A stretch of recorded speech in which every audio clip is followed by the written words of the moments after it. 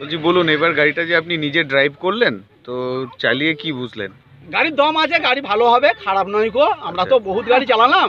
আমরা সেই এক সিলিন্ডার স্বরাজ থেকে নিয়ে হ্যাঁ। আর সাতশো পঁয়ত্রিশ স্বরাজ হ্যাঁ। আটশো পঞ্চান্ন স্বরাজ ইয়ে মহিন্দ্রের মহিন্দ্রের ছশো পাঁচ পাঁচশো পঁচানব্বই আমার আছে। আমি আচ্ছা। সাত আটখানা গাড়ি চালিয়েছি। আচ্ছা। নিজস্ব। আচ্ছা। নিজস্ব সাত আটখানা গাড়ি এখন আমার তিনটে গাড়ি আছে। সেই তুলনায় গাড়ির দম আছে গাড়ি ভালো হবে। ছোট গাড়ির পক্ষে ভালো গাড়ি। হ্যাঁ। গাড়িটা যে চালালেন আপনি কত নম্বর গিয়ারে কি চালালেন? নম্বর আমি এক নম্বর লোয়ে চালিয়েছি। একের এক লেভেলে নম্বর খুব ভালো মাটি আরপিএম কত দিয়েছেন? আরপিএম ধরুন আমি ষোলো থেকে একবারে কুড়ি পর্যন্ত আছে সেটাও দেখে নিই দেখে নিয়েছি হ্যাঁ, তাতে কোনো অসুবিধা বোঝেননি।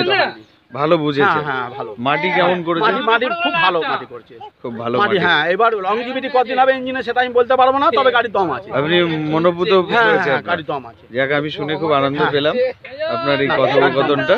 গাড়ির দম আছে। তাহলে আপনি কি ইচ্ছা প্রকাশ করলেন? আমি ইচ্ছা পয়সা করব না মানে আমি তো একটা আজকে কাস্টমার হয়ে গেলাম। ঠিক আছে ওকে থ্যাংক ইউ দাদা। রাখছি তাহলে।